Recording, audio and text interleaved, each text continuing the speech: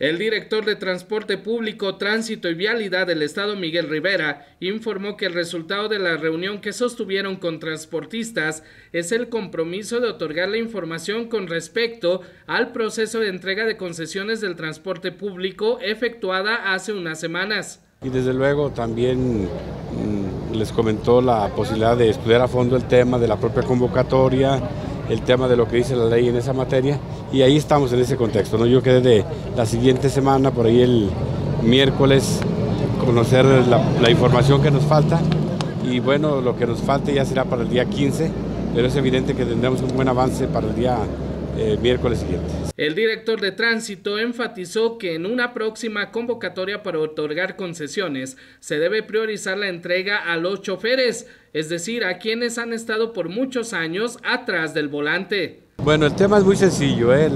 me parece que tenemos que buscar que en una siguiente convocatoria tengamos mayores precisiones que permitan que solamente eh, participen, por ejemplo, el caso de los choferes, de los operadores de taxi que durante muchos años han estado atrás del volante y en ese sentido tendríamos que buscar que justamente se diera una convocatoria para ellos.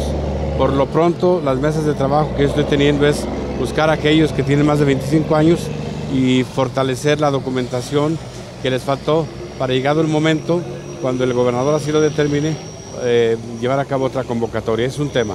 Y desde luego el tema del qué hacer con las, las supuestas eh, concesiones que se dieron de manera irregular, a decir de algunos de ellos, me parece que es un tema de legalidad.